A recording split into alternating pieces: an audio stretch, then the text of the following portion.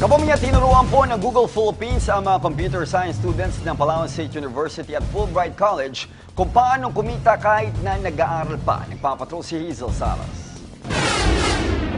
Hindi imposibleng kumita habang nag-aaral. Ito ang mensaheng nais iparating ng manager ng Google Developer Group Philippines sa mga computer science students ng Palawan State University at Fulbright College kahapon. Nagsagawa ng tatlong araw na pagsasanay ang Google Developer Group sa PSU main campus at isa sa kanilang naging focus ay ang mga kaalaman na maaaring maging inspirasyon ng mga estudyante na expose sa mobile at Android gadgets.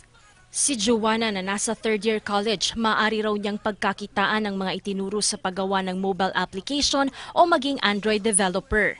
Sobra po, lalong-lalo na sa paggawa ng mga programming. Andyan si Google na pwede naming i-search.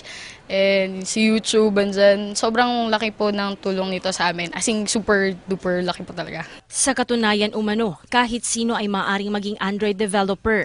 basic Android development. So, nag-start po kami dun sa pag-set up po nung machine and then um, additional information po about why develop for Android and kung ano yung opportunities after yun nga.